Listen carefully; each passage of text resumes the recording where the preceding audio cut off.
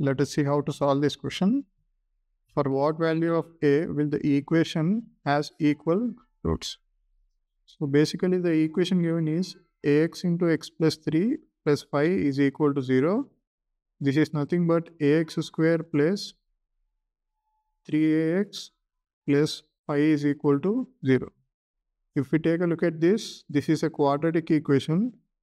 And when a quadratic equation is of the form ax square plus bx plus c is equal to 0, the roots of the equation are equal when value of discriminant which is b square minus 4ac is equal to 0. So for this equation to have equal roots, the value of d has to be equal to 0 which is b square minus 4 into a into c which is 5 has to be equal to 0. So this is nothing but 9a square minus 20a is equal to 0. So the value of a can be either 0 or 20 by 9. But the value of a equal to 0 must be eliminated because when we substitute the value of a to be 0, we get 0 plus 5 is equal to 0, which is not possible.